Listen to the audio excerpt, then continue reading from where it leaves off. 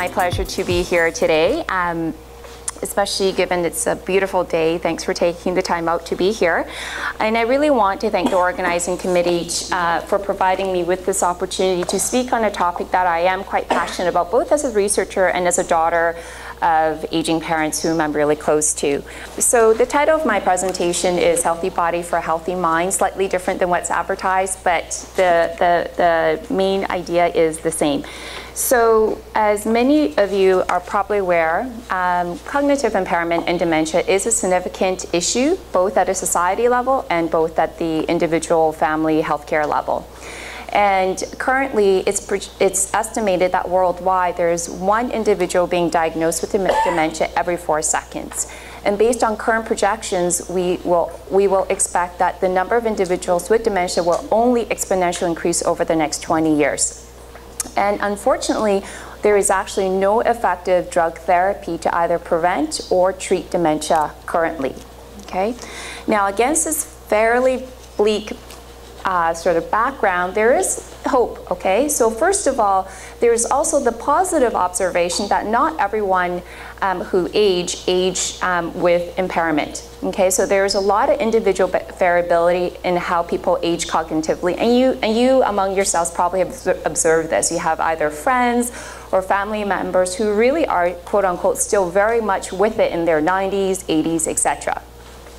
And we have observed this through research as well, where we track people over time. And this is a graph just sort of demonstrating that um, pattern whereby each line actually represents a individual over time. So we track individual, let's say when they're first at 65 years old, and we look at how they function cognitively over time. So what I just want to really highlight here, so if you look at this graph, overall there's a black cloud that's showing a downward trajectory, meaning that that at an overall level, individuals are showing some cognitive decline um, as they age. But as well, there are some individuals who are actually showing improvement. Do you see that? So these, these are the red lines. So some people are actually maintaining as they age, while others are actually showing some improvement. So what I'm trying to highlight is that there's a lot of individual variability, and so we really wonder, is significant cognitive decline inevitable with aging? And the answer seems to be no. And in, in, addition, with advanced neuroimaging, we're also now realizing that individuals could actually have a lot of what we call neuropathology. So if we scan their brains, we can actually see the typical hallmark of Alzheimer's disease, such as um, plaques or tang tangles, with, again, very advanced neuroimaging that's not available per se clinically, but is available to us as researchers. Yet they actually are functioning really, really well on a daily basis. So again, lots of hope. And what we are now real realizing most importantly is that the brain as an organ is actually plastic throughout the lifespan, meaning that it actually can respond to the experiences or stimulus that you uh, expose to it even as you age. And that's very similar to, let's say, how your muscles may respond really positively if you decide to start lifting weights twice a week, every day, or every week, whereby you would expect your muscles to get stronger, um, and a little bit bulkier. Now with the brain, we're realizing, again, in older adults, it can still change in how it responds to the environment. So with that sort of context, so first of all, that the number of cases with dementia will only increase, and yet there's the observation that potentially significant decline is not always an absolute with aging. There's been a lot of interest in how lifestyle behavior could be um, could could be um, or, or, their potential in preventing dementia. So among the potential lifestyle strategies, there is nutrition, there is sleep. So how much sleep? How well do you sleep? Um, how cognitively challenging or, or, how are you challenging yourself cognitively? So how much education have you acquired throughout your lifespan? And as you age, are you engaged in intellectual um, activities? Do you socialize? So do you have a core group of individuals in which you have uh, constant socialization and interaction? But then, of course, there's also this activity, which I would argue is the forerunner in, in terms of its potential as a strategy for preventing dementia. And so what I'd like to do today really is to share with all of you some of the key and really, I think, important and um, exciting findings that really suggest that exercise is medicine and that um, as a population strategy, exercise probably is the most promising approach in terms of preventing dementia. So just to provide a bit of guidance as to how I'll go through um, the talk today, I will first really talk about the research we have that really looks at the relationship between exercise and cognitive function, and I also briefly talk about some of the potential mechanisms or how does exercise promote cognition. Then what I'll do is end with two studies to really highlight what is the relevance of, in terms of the research I presented in terms of um, healthy aging.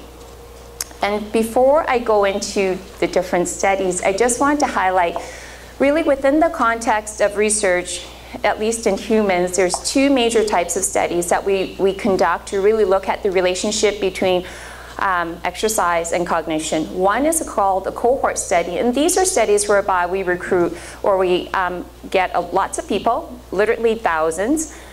We assess you so we can look at how well you can move, how well do you think, how well can you remember, and every year we will reassess you. We don't intervene or give you a or give you a particular treatment or prescription. We just basically see how do you do over time. That's called a cohort study, and they describe relationships, and again, no prescribed treatment or intervention. As compared with randomized controlled trials, which again do look at relationships, so you are still looking at exercise and cognitive function. But in these particular studies, what we do is recruit individuals and we actually assign them a specific intervention. And the reason we do this is that it gives us a little bit more confidence as to the cause and effect of exercise on cognition.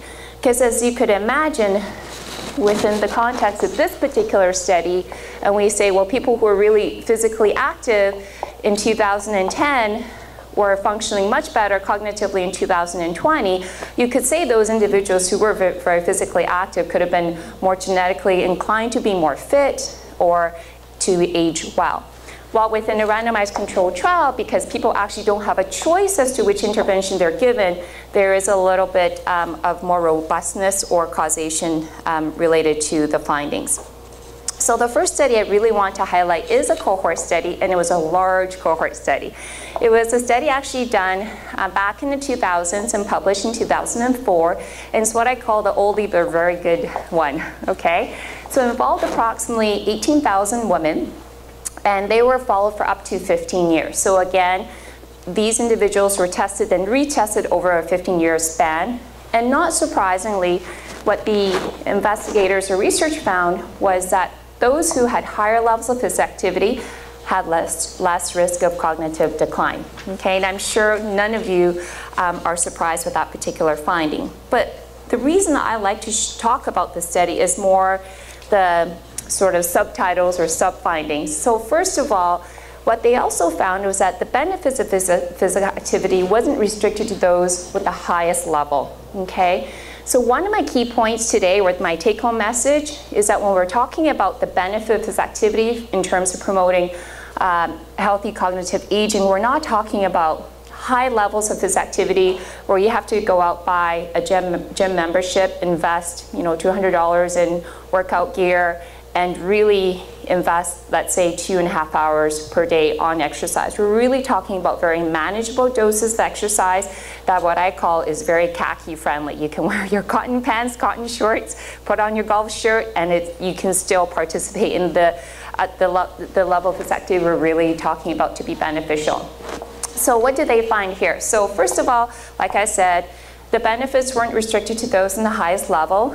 In fact, they found that for those individuals who walked at least one and a half hours per week at a pace of 21 to 30 minutes per mile, also had neuroprotection, okay? So that's lots of numbers, and I know it's after lunch. So what does that actually mean?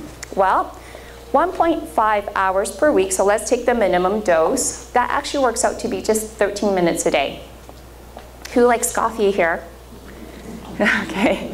Who, who, who who lives close by, let's say, a coffee shop with their apartment or house, how long does it take you to walk to your coffee shop, your favorite coffee shop? One and a half minutes, okay. Anyone else? That's really close. Didn't expect that. wow. For myself, who live, who live literally at UBC, not, not really, but I live there because I work there so much. Um, by the time I get my coffee and back, it's approximately 15 minutes, really. And so what I want to flag is that in terms of the amount of time they found to be beneficial, is quite manageable, I would, I would argue. And then now let's look at the pace. Is it talking about sprinting for 13 minutes or running for 13 minutes? Well, let's break this down. So this was a US um, paper, so they weren't using the metric system, although they were all supposed to convert. That was the agreement, but they didn't. Um, so if we talk about 21 to 30 minutes per mile, that was the pace they found to be sort of at which you had to work at. That's actually equivalent to walking uh, four times around a standard track in 21 to 30 minutes.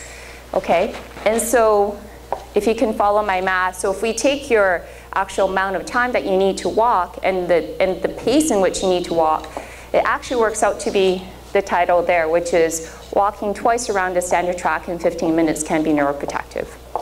And again, my key message is that this is very manageable doses, and the beautiful thing is that this type of finding has been replicated in later studies. And again, in research, we always look for replication. Might sound really boring, but replication really provides us with confidence that the findings may be true.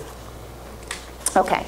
So now I'd like to move to randomized controlled trials. Again, just as a reminder, these are uh, studies whereby participants come in and we basically randomized by flip of a coin essentially as to what type of intervention or type of exercise they will participate in. And this again is to allow us to really look at um, sort of the causation path or the, the relationship between exercise and cognition. And within the context of exercise training, there's two broad types although I really do acknowledge exercise is much broader than this, but just for sort of today's talk, very broadly, exercise could be divided into aerobic training, which is anything you do to try to increase your heart rate or your fitness level, so walking, running, swimming, cycling, and resistance training, which is any type of exercise you do to try to increase your muscle strength, power, or bulk.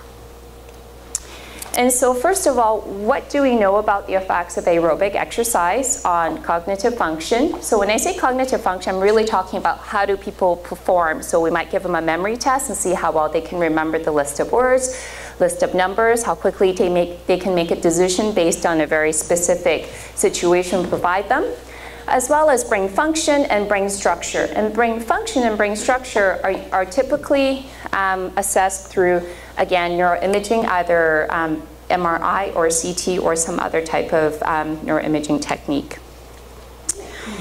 Now, within the literature or within the research, in terms of cognition, as you guys may um, appreciate, there's lots of different uh, sort of types of cognition. So as you, as you can even appreciate, you could, you could say, for example, you have really good memory, but in a specific type. So for example, for myself, I'm really good at remembering what I need to do for my kids and for my work.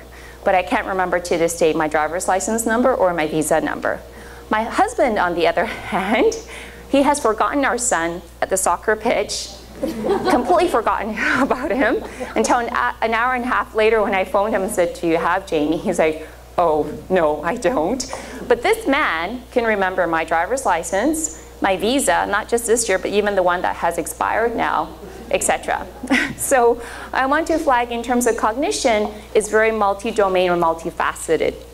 And within research, we have typically focused on two domains, executive functions, which are your cognitive abilities that really allow you to function independently within society because it's a set of um, thinking abilities related to planning, decision making, multitasking. Okay, It's very sensitive to aging effects and certainly is um, impaired in both Alzheimer's disease and vascular dementia, the two most common types of dementia worldwide.